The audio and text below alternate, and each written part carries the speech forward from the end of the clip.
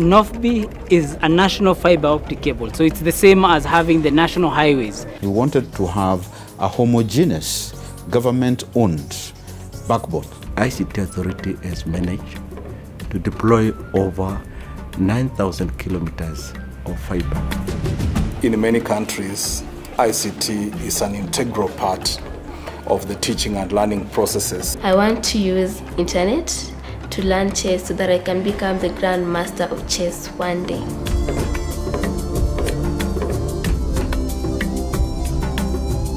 NOFB is a national fiber optic cable, so it's the same as having the national highways, so that all our data, all our connectivity with all government institutions, schools, hospitals, all that is done under a backbone. If you look globally, everybody has gone digital. The biggest companies now in the world, they're all information and knowledge based. It's all digital. The foundation of that is the fiber uh, cable. The NOFB uh, project uh, actually started all the way back in the year 2007. We wanted to have a homogeneous, government owned backbone for purposes of ensuring security, for purposes of ensuring maintenance, and uh, for uh, trying to bring down the cost uh, for government. ICT Authority has managed to deploy over 9,000 kilometers of fiber across the country, targeting all government main offices, uh, county headquarters, and sub-county headquarters. This is meant to enhance service delivery uh, to the citizen by government. So as we automate government services, we intend to ensure that these services can be accessed across the country by the citizen uh, through ICT, which stand as an enabler.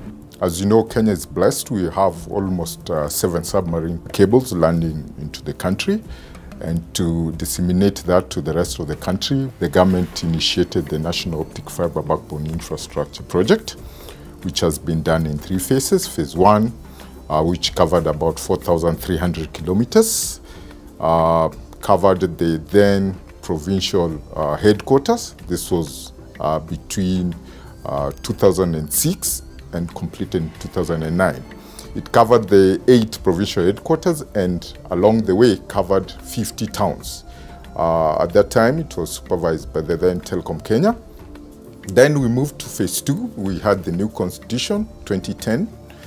Uh, and the government felt right that uh, we have phase two, which then covered all the 47 county headquarters.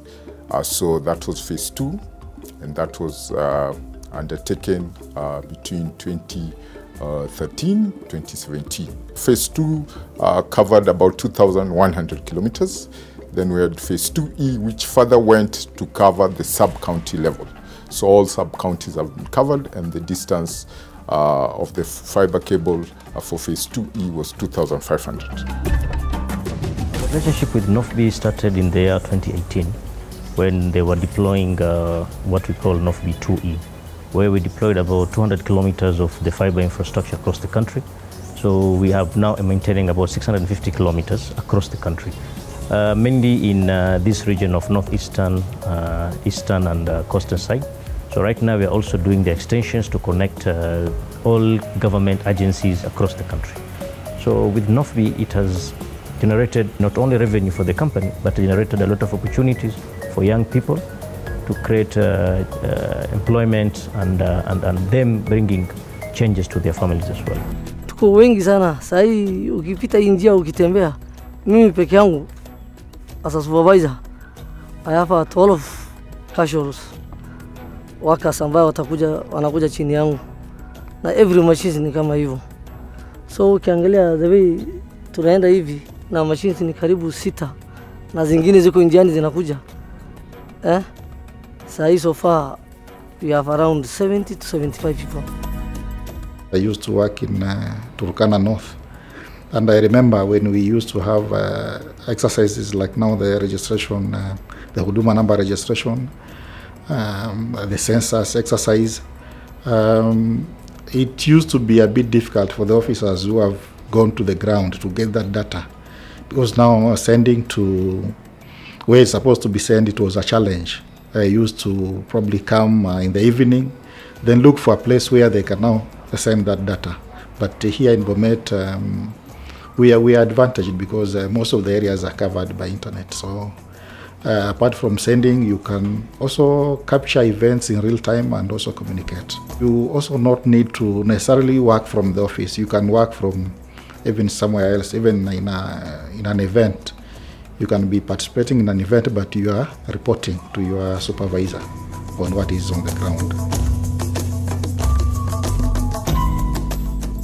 This office mainly monitors internet in government facilities to make sure that they have service. Now, if we connect that to the common mwananchi, I can give an example with a place like Huduma Center. We have Huduma Centers across different counties. They can be able to get like police clearance, there's birth certificates, there's death certificates, there's uh, passports. Yes, all that we have to make sure that all those places are connected because if they don't have internet, then services stop. On a daily basis, we serve 2,000 uh, clients. That is uh, in Huduma Center Narok. But nationally and countrywide, among the other 52 Huduma centers, we serve around 50,000 clients and citizens of this republic. Internet connectivity is very crucial in service delivery at the Huduma Center Narok. And it's one of the innovations that have been done by the Huduma Kenya program. For example, we have the SBA services, that is uh, the service by appointment, whereby all the clients that are coming into the center, they book for their appointments. That has been enabled by the uh, the government offering us very strong connectivity.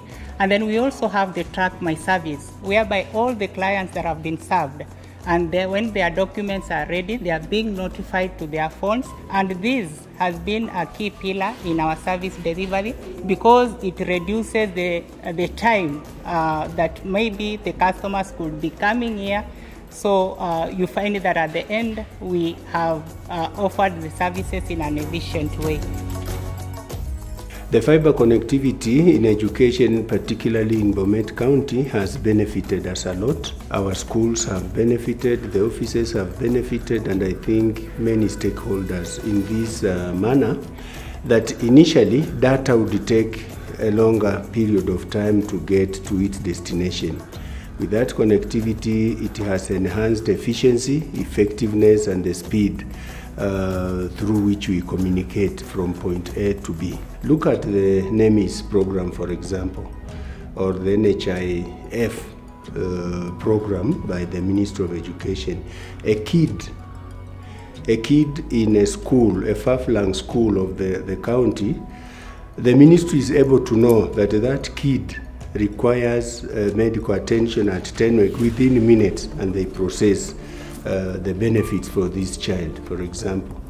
Uh, that, that, that, to me is very good and positive because then it has speeded up uh, the rate at which we serve the public, our stakeholders, and especially the children.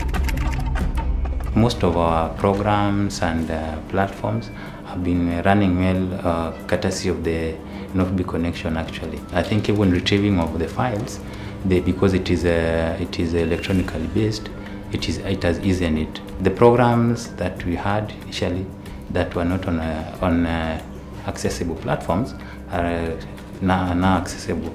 Uh, we have the other integrated programs for the government that are now working together like the, we have the PACS that is now integrated together with the DHC and uh, other programs that are within the health facility. NOFB Internet has a capacity of 150 uh, Mbps this is a capacity that is able to sustain us as the staffs and also the needs of the patient that comes to Garissa PGH. Now, because we have the stable internet, we use the NHIF portal to claim patient bills and other insurance products. It has boosted our revenue I can say maybe by around 70%. As you've seen, the president's uh, big four agenda, if it is uh, healthcare, you must have all the connectivity. Recently in Isiolo, we went and we tested telemedicine.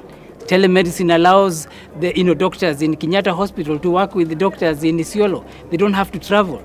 And again, they're using the fiber for that uh, purpose.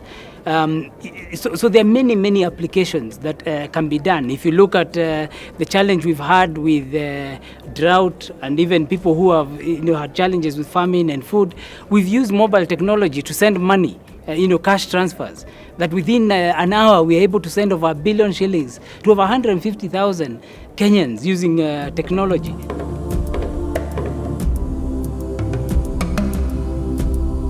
officers are have been able now to access information. They have been uh, able now to serve the public better. For example, a member of public may need a P3 form. A P3 form is just now you go to the internet, you just uh, Google, then you print, you give the member public. So it, it has reduced the cost to the member public and even to the government. Because in the previous days, going to Lokichar, which is our headquarter, is roughly 80 kilometers from here. So imagine going to 80 kilometers, and the 80 kilo- kilometers now been saved to sitting down and sending a message. So it has reduced the cost of communication, and it has reduced, uh, uh, in, it has increased the access to the information speed. So it is a win-win in terms of government offering uh, better services. Uh, you can now get uh, uh, fast broadband internet uh, in a remote town in Nadapal or Lodwar as, as, as you'd get in Nairobi. So for government offices, that is done. And the private sector also has uh, half the capacity within the network really to roll out their services. And this is being done on a commercial terms with NOFB on an open access model. During the COVID uh, period, majority of uh, government employees and private sector employees uh, were working virtually from their homes. And um, as Safaricom, we experienced a surge in the demand for fiber to the homes. And most of these fiber to the homes are enabled by the government uh, fiber because we splice off to a particular home. Then it joins the government fiber to our core network. The people who are running the economy out there want to be able to push iData on real time uh, to the metros. To be able to do that, fiber is the answer, and of course, NOFBI comes in handy to ensuring that uh, this is accessed and is available. The partnership within the Ministry of Education, Ministry of Industry, ICT, all the different ministries that we work together on, even uh, Ministry of Transport, ensuring that the conduits, as they build the roads, there is a space for fiber. So working as one government, that partnership has been extremely critical. But of course, uh, in this day and age, you cannot work alone. So we've got different partners under the United Nations. We've got UNESCO, who we've been working with. We've got UNICEF with the Giga and other uh, programs such as the Generation Unlimited.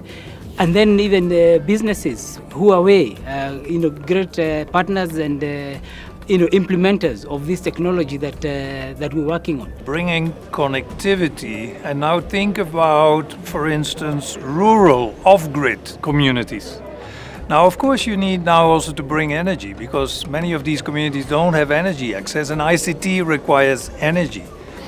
And, and now you get a very interesting perspective. The moment you combine renewable energy and ict access for communities that are off-grid their whole situation changes dramatically you, you pull communities immediately into the 21st century by bringing energy access and ICT access to communities. You will see a, a very broad range of socio-economic spin-off initiatives that should be taken up by the community members themselves, preferably by women and youth, to set up their own small-scale businesses. Partnership is very important and uh, not only um, we working with the other government agencies we want the communities to work with us for example where we have spent uh, uh, where we have laid cables we want the communities to respect those cables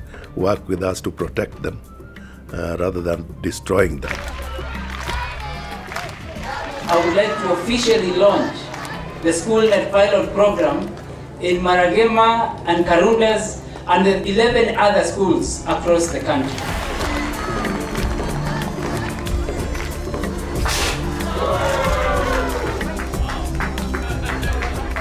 In many countries, ICT is an integral part of the teaching and learning processes at all levels, from kindergarten to PhD level at university level. We know that you conceptualize better when you see. And we have seen students seeing on a smart board how an eye operates, what it's composed of, and so on and so forth. A while ago, my own dream was to go to Japan, but most courses offered in Japanese, so I was worried about how I'm going to do it here. Every weekend, for about 30 minutes, I'll come here to the Comp Lab and do about 30 minutes of Japanese. I've been going to websites and YouTube channels such as learnjapanese.11 and I've been using some books online such as, Genki and some apps such as Busuu which is a language learning app. It's really helped me in my language development in Japanese. I have to tell ICT Authority that they're making great steps in this country. You're helping children achieve their dreams. You're a great blessing to all of us. In Kenya, all these schools, Arigato gozaimasu, ICT Authority. For now, we have chosen a few schools in various regions as a pilot. Um, together with ICTA, we are looking to, you know, run this program in a few schools before we scale it up across the country. Hardware are classified into input devices, output devices, storage devices, which I hope you know. With the internet connection in our school, we are likely to ensure our girls get information or get the resource they need as required. For example, in subjects like biology, chemistry, there are complex issues for learners to understand they need to see. So teachers in those sciences subjects can use simulation programs to teach, which will simplify the learning in those complex concepts. We are grateful to the ICT authority uh, for considering Sironga girls. I want to use internet to learn chess so that I can become the grand master of chess one day. It's time to say I'm done perusing through books. I'll be heading to my computer to utilize the blessings granted. Thank you for the blessing, ICT Authority. Gratitude. Wow.